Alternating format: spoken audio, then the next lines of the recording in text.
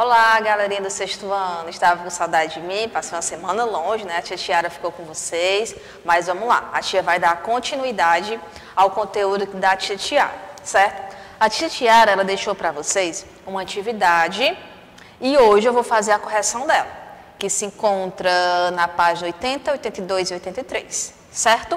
E após eu vou explicar um novo conteúdo das páginas 90 até a 95 certo? Vamos começar? Correção. Complete o parágrafo a seguir com as expressões no quadro que preencham corretamente os espaços. O quadro são fatores, números compostos, números primos, múltiplos e divisor. Vamos lá? Classificamos alguns números naturais em números primos. O que é um número primo? Que divide apenas por um e por ele mesmo. De exemplo, o 3, ele é um número primo, ele é divisível apenas por um e por ele mesmo. Ou seja, aqueles divisíveis apenas por um e por ele mesmo. Todos os outros são formados por fatores primos e são chamados de números compostos. O que são os números compostos? Que é dividido por mais de dois números. Exemplo, tia, o 4. O 4 é o número composto. Ele é dividido por 2, por ele mesmo e por 1. Um, é? Cada fator que compõe um número composto é também divisor. Né? Todos os resultados das multiplicações entre números naturais são múltiplo desses números. Né? Vamos continuar. Segunda questão. Determine o máximo divisor comum entre os números a seguir, pelo método de decomposição simultânea em fatores primitivos, que é isso, vamos relembrar. A tia Tiara explicou, não foi? A tia vai dar só uma reforçada. Vamos lá. O máximo divisor comum de 12 e 36. Primeiramente, vamos fazer a decomposição simultânea. É isso aqui, ó. Vamos lá. O 12 e o 36, vamos relembrar lá da divisibilidade, né? O 12 e o 36, eles são divisíveis por 2. Porque, tia, todo número dividido por 2, ele tem que ser par. Quando é que o número é par, tia? Quando ele termina em 0, 2, 4, 6 e 8. Terminou com um desses números, esse número é par. O 12 termina em 2, então ele já é par. O 36 termina em 6, então ele já é par também. Então eles são divisíveis por 2. Como ele quer saber o máximo divisor comum, o 2 é comum. Como assim? O 2 divide o 12 e divide o 36. Então já deixa marcadozinho. Ó. Continuando. 12 dividido por 2, 6. 36 dividido por 2, 36 dividido por 2, que dá 18, né? Tia ainda são pares, então ainda dá por 2. 6, marca aqui, ó. O 2 dá para dividir o 6 e dá para dividir o 18. Marquei. Certo? 6 dividido por 2, 3. 18 dividido por 2, 9. 18 dividido por 2. Não é agora 18 dividido por 2 que dá 9, como eu tinha falado. Pronto. Não dá mais por 2. Dá por quanto? Por 3. 3 dividido por 3? 1. 9 dividido por 3? 3. Esse 3 é comum? É. Ele dividiu 3 e dividiu 9. Marcou. O 3 é um número primo. Só dá para dividir por ele mesmo. Boto 1. 3 dividido por 3 que dá o MDC termina quando eu tenho apenas uma unidade, certo? Então, no caso, por que, que eu fui marcando? Para me lembrar o número que dividiu todos os números que eu estava dividindo. Ó, o 12 e o 36, os dois dividiram por 2. O 6 e o 18, os dois são divisíveis por 2. O 3 e o 9, os dois são divisíveis por 3. Já esse 3 aqui, ele só dividiu esse 3, mas não dividiu 1. Então, esse 3, ele já não faz parte do meu MDC, certo? Por isso é importante da gente ir marcando, ó. O que foi que sobrou para mim? 2 elevado a 2, ó vezes 3. 2 elevado a 2, 4. 4 vezes 3, 12. Então, o máximo divisor comum é o 12, certo? Essa é a resposta do item A. Vamos agora para o item B. Faça os cálculos, do jeito que a gente está fazendo aqui. Se no livro não tiver espaço, faça no caderno, colocando as devidas datas. Vamos agora para o item B.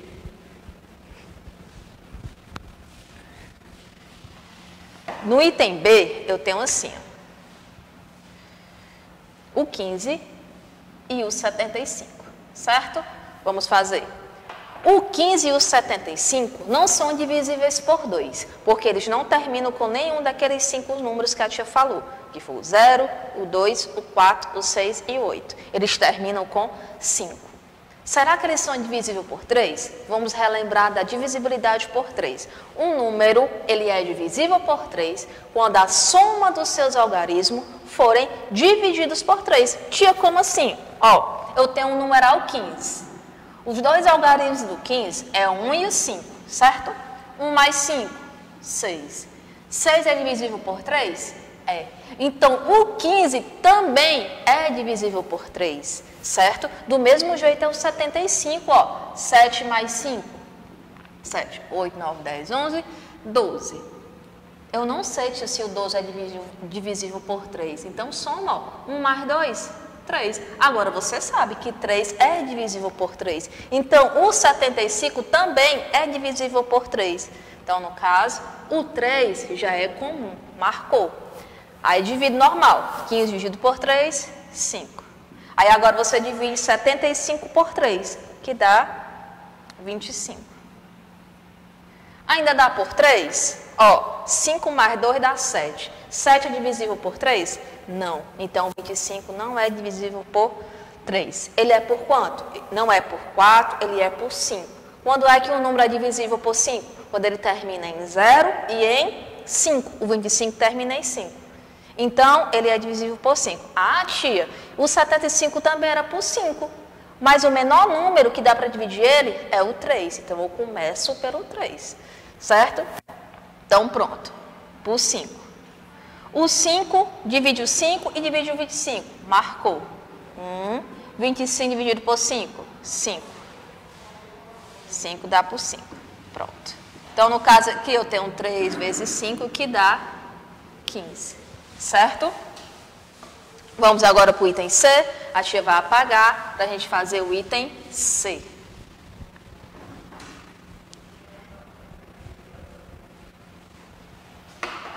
Item C. No item C eu tenho 216 e 180. De cara, eles, eles já são divisíveis por 2, não é? Porque termina em 6 e termina em 0. São divisíveis por 2. Esse conteúdo é bastante importante, gente, para vocês para dar continuidade aos conteúdos, certo? Essa regrazinha de divisibilidade tem que aprender, principalmente a do 2, a do 3 e a do 5, que são as principais. 216 dividido por 2, não é? Que é 108. 180 dividido por 2, que é 90. O 2 já é comum, marcou. Ainda dá por 2, ó, por conta das terminações. Marcou. 108 dividido por 2, 54. 90 dividido por 2, 45. 45 dá por 2? Não dá, mas o 54 dá. Esse 2 que a gente vai colocar aqui, ele não será comum, então eu não vou marcar, certo? 54 dividido por 2, 27. 45 eu vou repetir. É por 2? Não é, porque não terminam em 0, 2, 4, 6 e 8, lembra disso. É por 3? Vamos ver. 7 mais 2. Tia, 7 mais 2 é 9. 9 é divisível por 3? Sim. 4 mais 5? 9. 9 é dividido por 3? Sim. Então, no caso, será divisível por 3 e ele ainda será com 1. Marcou. 27 dividido por 3, tia? 9. 45 dividido por 3? 15. Ainda dá por 3? 5 mais 1? 6. Dá por 3 marcou. Mas a gente vai continuar bem aqui, ó. 9 dividido por 3, 3. 15 dividido por 3, 5. Ainda dá por 3? Dá. Mas será comum? Não, porque não divide o 5, ó. 3 dividido por 3, 3 dividido por 3, que dá 1. O 5 dá por 3? Não dá, eu vou baixar. No caso, esse 3 já não será comum. O 5, ele só divide por 5, porque ele é um número primo, né? 1 e 1. Esses dois não foram comum. Quais são os comuns? Foi o que a tia marcou. Esse, esse, o 3 e esse 3. Então, no caso, como vai ficar aqui, ó. 2 elevado a 2. É, 3 elevado a 2. Certo? 2 elevado a 2, 2 vezes 2, 4. 3 elevado a 2, 3 vezes 3, 9. o que, é que eu vou fazer agora? Multiplicar. Esse é o nosso item C, né? O 9 vezes 4, que dá 36. Ok. Essa é a nossa resposta. Essa é a nossa resposta do item C. 4 vezes 9, 36. Ok. Vamos agora para o item D, para encerrar essa nossa primeira questão. Espero que esteja entendendo que é o MDC, que são só os comuns, que são esses números que a tia está marcando, tá bom? A tia está aproveitando, revisando a divisibilidade, revisando o MDC, já já vamos para o MMC. Vamos lá. Agora o item D.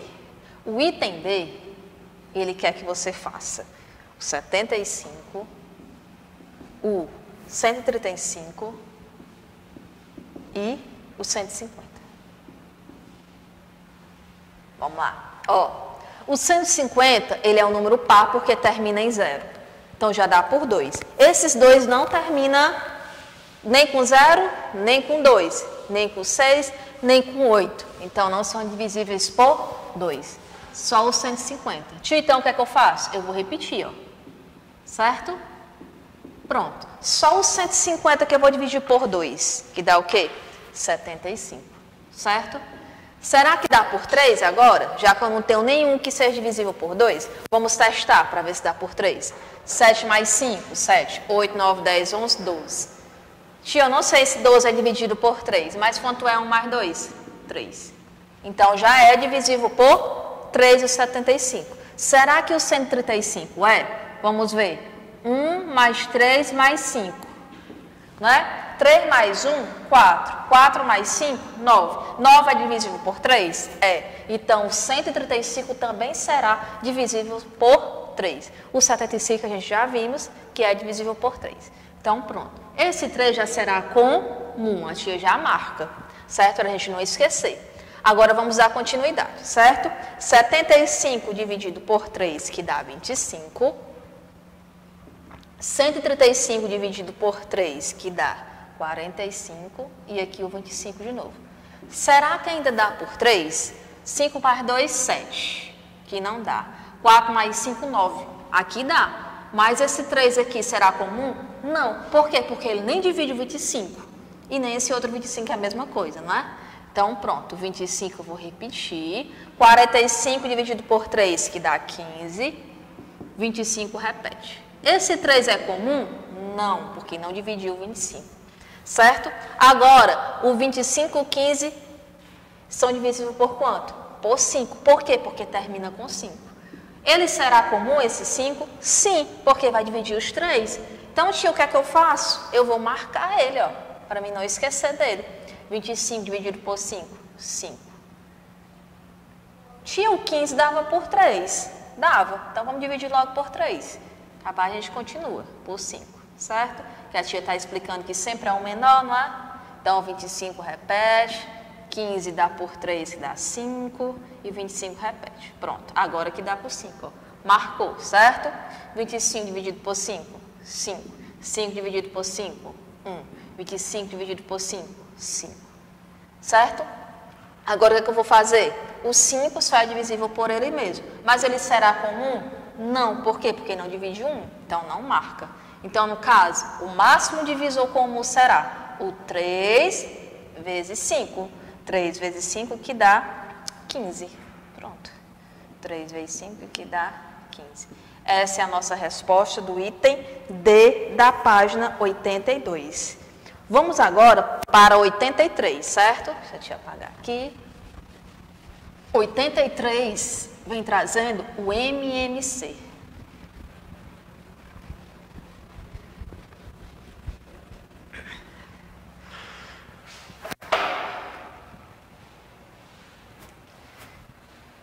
Vamos lá.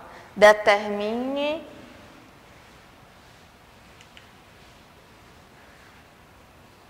Faça a decomposição simultânea dos números a seguir e identifique o MMC de cada um deles. Vamos fazer? O MMC de 90 e 80, de 72 e 90, 45 e 65, 50, 21 e 2. Tia, mas o que é o MMC? É o mínimo múltiplo comum. Mínimo múltiplo comum. Vamos lá fazer. O item A. 90 e 80. 90 dá por 2. 90 dá por 2, que dá 45. 80 dá por 2, que dá 40, que é a metade dele. Ainda dá por 2. No MMC, não precisa a gente sair marcando, porque o MMC, vamos usar todos os números que a gente foi dividindo, certo? Vamos lá. 45 repete. 40 dividido por 2, que dá 20 ainda dá por 2. 45 não dá. 20 dividido por 2, 10. Ainda dá por 2. O 45 não dá. 10 dividido por 2, 5. Dá por conta agora? Por 3. O 45, 5 não, né? 45 dividido por 3, que dá 15. O 5 não dá, repete. Ainda dá por 3, ó. 15 dividido por 3, que dá 5. O 5 não dá, repete. O 5 só dá por ele mesmo. Olha a diferença do MDC para o MMC. O MMC a gente precisa multiplicar todo mundo. Ó. Todo mundo quem? 2, 1, 2, 3, 4. 2 elevado a 4, 3 elevado a 2. Ó. Vezes 5. Vamos lá. 2 elevado a 4, 2 vezes 2. Ó, 2 vezes 2, 4. 4 vezes 2, 8. 8 vezes 2, 16. 3 elevado a 2, 3 vezes 3, 9. E o 5 repete. Agora o que, é que eu faço? Multiplico 16 vezes 9, o resultado vezes 5. A questão 2, temos uma resposta de 720. É o MMC, que é o mínimo múltiplo comum. Tá aí o item A. Dá uma pausinha no vídeo e vamos para o item B.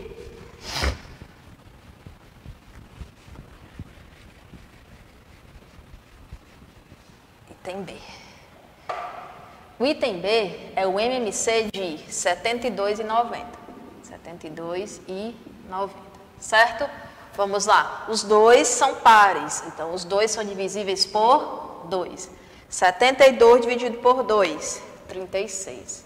90 dividido por 2, 90 dividido por 2, que é a metade de 90. Vamos dividir aqui. 90 dividido por 2, né? Que é a metade. 9 dividido por 2. 4 vezes 2, 8. Para chegar em 9.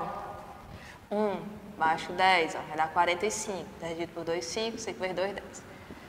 Sempre vão tendo costume, gente, de fazer os cálculos no lado do caderno, como a tia fez aqui, certo?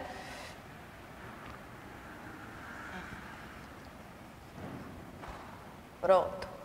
Ainda dá por 2? O 36 dá. 36 dividido por 2, 18, né? 45 dá? Não. 18 dá por 2, que dá 9. 45 não dá, repete.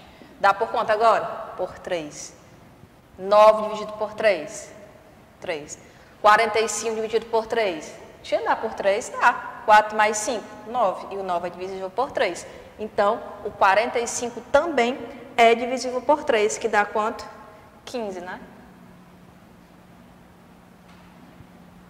Dá por 3? Dá. 3 dividido por 3, 1. 15 dividido por 3, 5. Ainda dá por 5 aqui, ó. 5 por 5. O MMC também termina quando dá uma unidade aqui, ó. Multiplica todo mundo. 1, 2, 3. 2 elevado a 3. 1, 2, 3 elevado a 2. E o 5. 2 elevado a 3, 2 vezes 2, ó, 4, 4 vezes 2, 8. 3 elevado a 2, 3 vezes 3, 9. E o 5 repete. 9 vezes 5, 45, 45 vezes 8. Esse é o nosso item B, 360. Está aí o MMC do item B. Vamos agora para o item C.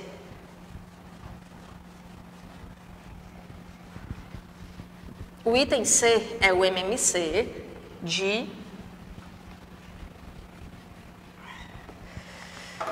o MC de 45 e 65. Vamos lá, 45 e 65. Os dois não são pares, então já não começa por 2, começa por 3. Aí vamos lá. 45 dividido por 3, que dá 15. 65 dividido por 3, ó, pontinho aqui no lado. 6 dividido por 3 dá 2. 2 vezes 3, 6. Para 6, nada. 5 dividido por 3, 1. 3 vezes 1, 3. Para 5, 2. Olha como não dá. Tia faz pela soma. 6 mais 5. 6 mais 5, 11. 11 vezes dividido por 3, não dá. Você viu aqui na divisão que o número quebrou. Ó. Já tem um resto, um resto 2. Certo? Sempre faça pela, é, pela regra de divisibilidade, que é sempre mais rápido, certo? Então, 65 repete. Dá por 3, ó. 15 dividido por 3, 5. 65, repete. Ainda dá por 3? Não. Dá por quanto? Por 5. 5 dividido por 5, 1. Agora o 65 dividido por 5, ó. 6 dividido por 5, 1. 5 vezes 1, 5, para chegar em 6. 1, baixa o 5, 15 dividido por 5, 3. 3 vezes 5, 15, para 15, nada. Então aqui dá o 13, não é? O 13, gente, ele é um número primo. Ele só dá para dividir por 1 e por ele mesmo. Então, o 13 eu vou repetir. Agora o que eu faço? Eu vou efetuar a multiplicação. 3 elevado a 2, né? Ó, vezes 5 vezes 13. 3 elevado a 2, 9. 9 vezes 5, 45. 45 vezes 13, esse é o item C, viu? Ó? 45 vezes 13, 585.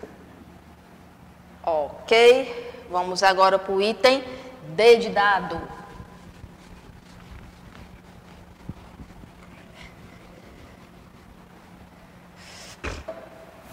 D, o MMC 50, 21 e 2. 50, 21 e o 2. O 21 é o único que não dá para dividir por 2, né? 50 dá por 2, que dá 25. 21 dá por 2? Não. 2 por 2 que dá 1. Tem algum que dá por 2? Não. Será que dá por 3? O 25, 5 mais 2, 7. Não dá por 3. 2 mais 1, 3. Então, 21 dá. 25 repete. 21 dividido por 3, 7, tia. 1 repete. Já deu uma unidade aqui, então deixa, vai só repetindo ele. Hum, ainda dá agora por 5, não é? Ó, 25 dividido por 5, 5. 7 não dá. Repete. Ainda dá por 5. 5 dividido por 5, ó. 1. 7 não dá, repete. O 7 também é um número primo, só dá por ele mesmo, ó. Certo? No caso aqui, como é que vai ficar o MMC? 2 vezes 3 vezes 5 elevado a 2, ó, 1, 2. Vezes 7. 2 vezes 3, 6. 5 elevado a 2, 5 vezes 5, viu? Cuidado, 25. Vezes 7. Pronto, agora é só multiplicar. 25 vezes 6, o resultado vezes 7. 2, 3, 5 elevado a 2, 7. Certíssimo. 10.050. Ok. Vamos agora para a nossa terceira questão e última, não é? Para a gente ir para o nosso conteúdo.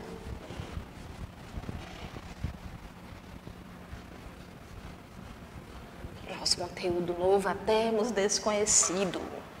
Complete a tabela a seguir com os valores correspondentes. O MMC do 622, ó, 66, faça a fatoração, certo? O MDC agora, do 6 de 22, 2. O MMC de A vezes B vezes o MDC de A vezes B, certo? Você fez o MMC aqui, ó, multiplica os dois, certo? Aí agora aqui ele quer A vezes B. O resultado que deu em A, que é 6, vezes B, que é 22, certo? Observando os valores encontrados nas duas últimas colunas da tabela, que propriedade pode ser encontrada? Qual é a propriedade que pode ser encontrada aí, gente, nessa terceira questão? A propriedade do MMC e do MDC. Aí você vai colocar a propriedade do MMC e do MDC. Pronto. Vamos para o nosso conteúdo de hoje. Nosso conteúdo de hoje se encontra, só dizer aqui a página para vocês, na página 91, certo? Vamos aqui, ó.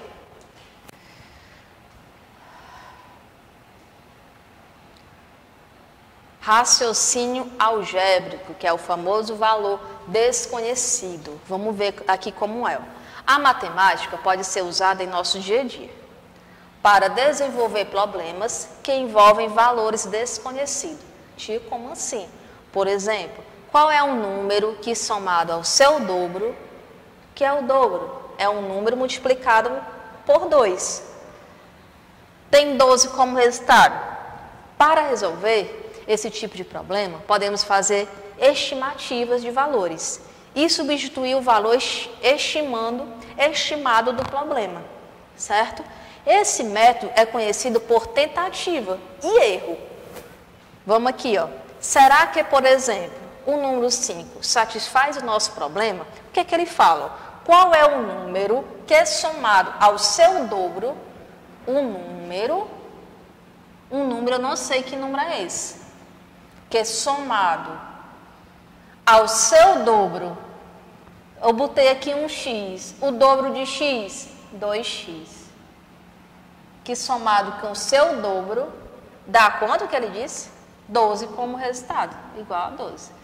Isso aqui está na linguagem, a nossa linguagem nosso português, e aqui está a nossa, da linguagem matemática, um número, que eu não sei que número é esse, que somado com o seu dobro, o dobro do número que eu não conheço é duas vezes, é igual a 12. Aí ele diz assim, ó, será que, por exemplo, o número seria o 5? Vamos ver. Se, se x for 5, será que dá igual a 12? Vamos ver. 5 mais 2 vezes 5. Será que é igual a 12? Lembra, certo? Ó, das expressõezinhas, resolve primeiro a multiplicação. 5 mais 5 vezes 2, 10. 10 mais 5, 15. 15 é igual a 12? De jeito nenhum. 15 não é igual a 12. Então, o 5 já não satisfaz o nosso problema. O 5 já não satisfaz o nosso problema, certo? Vamos ver aqui, ó. O resultado foi maior do que queríamos, né? Que deu 15. Foi bem maior. O que, que isso significa? que um número, que a resposta aqui do x será um número menor do que 5. Já que o 5 deu uma resposta maior do que 12, que deu 15. 15 é maior do que 12. Então, no caso, o valor do meu x tem que ser aquele número que seja menor do que 5. Aí ele fala aqui, ó, o resultado foi maior do que queríamos. Nesse caso, o número desconhecido é menor do que 5. Será que então, que é o 4? 4 mais 4 opa, mais 2 vezes 4 igual a 12. 4, 4 vezes 2, 8. 8 mais 4, 8 mais 4 é 12, tia. Então, pronto, o valor procurado já seria o número 4. Descobrimos que o número 4 responde à nossa pergunta. Podemos também montar uma tabela com números e resultados possíveis. Vamos aqui mostrar a tabela. Agora aqui, ó. Descobrimos aqui, ó, eu coloquei os possíveis resultados, que são os números menores do que 5, poderia ser o 4, 3, o 2 e o 1. Aí eu fui substituindo, ó. 2 vezes 1, 2. 2 mais 1, 3. Aqui, 2 vezes 2, 4. 4 mais 2, 6. 3 vezes 2, 6. 6 mais 3, 9. Nenhum desses deu 12. O único que deu 12 é ó, 4 vezes 2, 8. 8 mais 4, 12. E o 15 a gente já tinha feito. Descobrimos igualmente que o número 4 responde à nossa pergunta. Vamos lá, ó. álgebra e sequência, certo? Agora, agora que você já viu como funcionam as relações de igualdade, vamos estudar o pensamento algébrico por meio de esquema a seguir. Ó, eu tenho um quadrinho. Para essa sequência, eu aumentei um quadrinho na coluna e um quadril na linha. Vocês estão vendo ó, que vai aumentando um quadril na linha e um quadril na coluna. Aí ele fala: Você consegue dizer quantos quadrinhos terá a próxima figura? E a figura da posição número 10? Quantos quadrinhos terá? Você percebeu que cada pergunta leva a um questionamento matemático diferente, certo?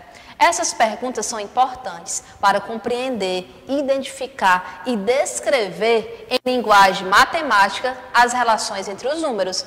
Assim, será possível transformá-las em pensamentos algébricos ou sentença matemática.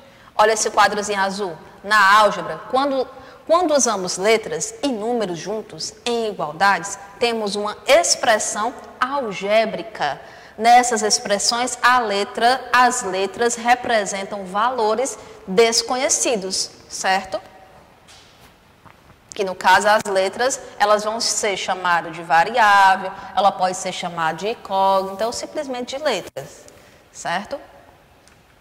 Ok, essa parte aqui, gente, foi de valores desconhecidos, certo? É onde você vai usar uma letra e essa letra você vai encontrar o valor dela, certo? Como exemplo que foi dado lá para encontrar o valor do x que daria igual a 12, que era um, um número que somado com seu dobro dava igual a 12 certo? Aí você monta, que está lá na linguagem é, português, você passa para a linguagem matemática e lá você consegue encontrar por tentativa ou por sequência, como foi feito aqui.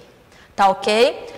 Faça a atividade de casa, que a tia deixou aí com carinho para vocês, que na próxima aula a tia faz a correção, certo? Tchau, fique com Deus e até a próxima.